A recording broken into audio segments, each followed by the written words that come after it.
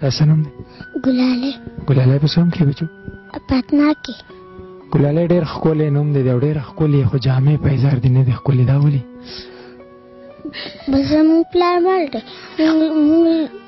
موږ په اختر کې په اختر کې زموږ ټولو ورو نوي جامې او نوي پیزار او زما پکې نه وو تا ولې نه وجو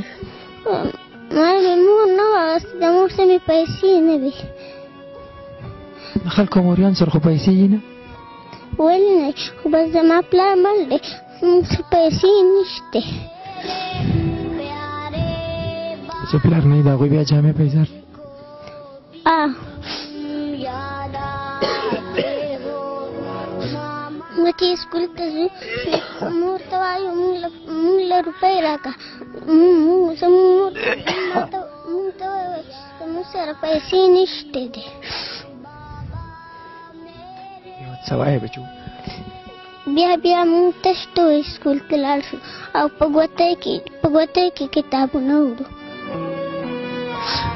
صدل راوړم بچو نور ته نه تاسو نه کوم زړه مې چوي خو بل ځل چې راځم نو صدر لراوړم اسم راوړه ست ضرورت ته چې در لاړم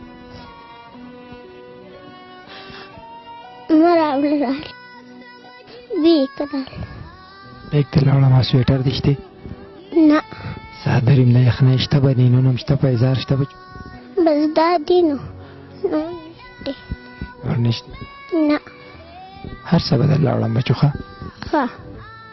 چېرته زه په ویډیو کې بچو لا جواب کړی نه یم خو نن زما سره بل تپوس نشته چې ستا نه وکړم بل تپوس ته نه نه کوم ښه ښه ولې دې نه کوم پته ته شته ستا جواب خلک وجني